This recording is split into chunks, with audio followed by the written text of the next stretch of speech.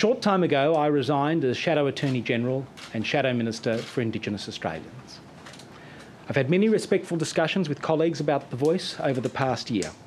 I've listened to their views and they've heard mine, but ultimately I haven't been able to persuade them. It's clear that the Shadow Cabinet and the Party Room and I have taken a different position in relation to The Voice. With the referendum due later this year, I believe the time for The Voice has come. I believe in local and regional voices. I believe in a national voice drawn from local and regional bodies, and I will support the referendum being put this year. I believe that The Voice can help move the dial on Indigenous education, health, housing, safety, and economic development.